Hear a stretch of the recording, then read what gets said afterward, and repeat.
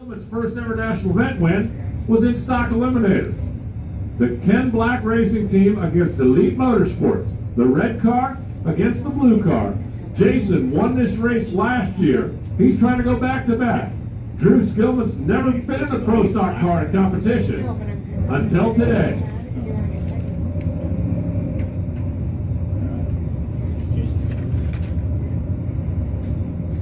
In, ready.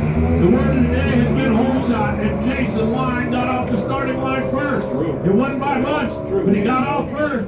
6.5, 4, 5, 211.83. Jason Line ends the day for Drew Skillman, who runs 6.556 at 211.13. Jason 038 on the reaction timer.